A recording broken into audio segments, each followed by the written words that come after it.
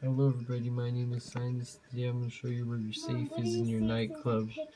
So first thing you want to do is you come in, you head up these stairs, come into your office, and you want to walk, and the guy's drunk. Here's Gay Tony's, and then here's mine.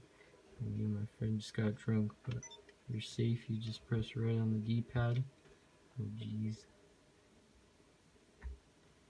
press on it and then it comes right open and then you run into it and collect your cash. Thank you guys for watching. I'll see you in the next